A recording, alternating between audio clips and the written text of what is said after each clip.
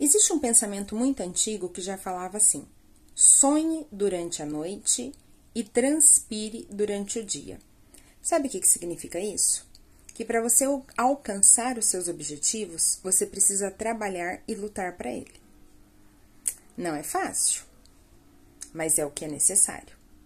Não podemos ficar apenas sonhando, sonhando, sonhando, sonhando e não corrermos atrás dos nossos objetivos. O que você tem que fazer? Ir em busca de oportunidades. Existem diversas oportunidades. Ah, Cris, eu tô desempregada. Eu tô desempregado. Pegue alguma coisa, comece a vender. Vai de porta em porta. Eu falo por mim. Aqui em Apucarana, eu trabalho no setor de festas.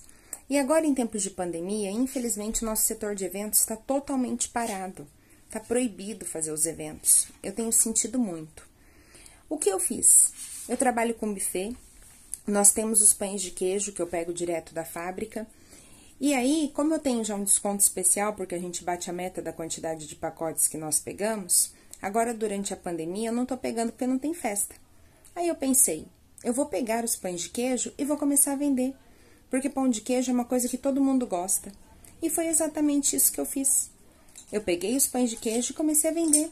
Coloquei no Facebook oferecendo, fui de casa em casa oferecendo e já vendi diversos pacotes. Por quê? Nós precisamos ir em busca de oportunidades.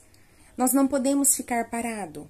Nós precisamos sonhar, traçar metas, objetivos, mas precisamos transpirar e trabalhar para que esses objetivos sejam alcançados. Deus te abençoe. Até amanhã ao meio-dia.